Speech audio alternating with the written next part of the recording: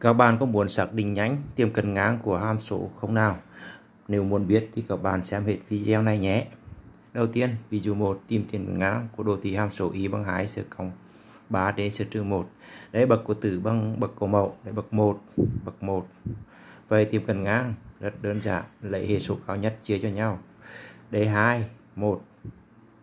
2 chia cho 1 bằng bằng 2. Vậy tiệm cận ngang là y bằng 2. Các bạn nhé.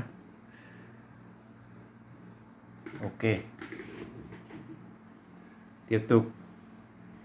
Tìm tiềm cần ngang của đồ thị hàm số. Ở đây bậc cao nhất là bậc 1, đây bậc cao nhất bậc 2.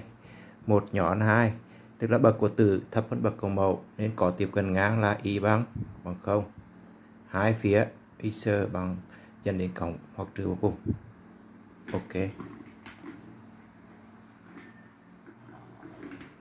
Đối bài toán này thì rõ ràng tập xác định là D bằng R. Vì sinh phương cộng 1 luôn dương. Ok chưa? Ở đây có cắn này, cắn bậc hai của x phương thì gọi là x bậc 1. Đây bậc 1. gọi là bậc 1. Sắp xỉ bằng 1. Ước lượng toán học như vậy.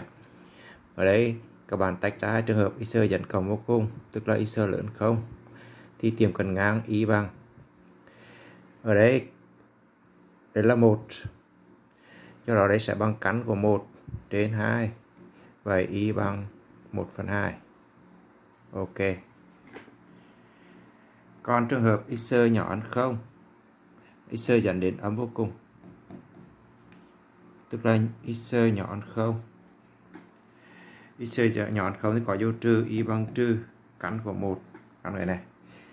Trên trên 2 và y sẽ bằng trừ 1 phần phần 2 các bạn nhé.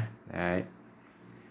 Vậy có hai tiệm cận ngang khác nhau, y bằng 1 phần 2 và y bằng trừ 1 phần 2 vậy với phương pháp tương tự như vậy, các bạn hãy tìm tiệm cận ngang của đồ thị hàm số cắn x trên x cộng 1 các bạn giải và nhận xét ở chỗ bình luận nhé.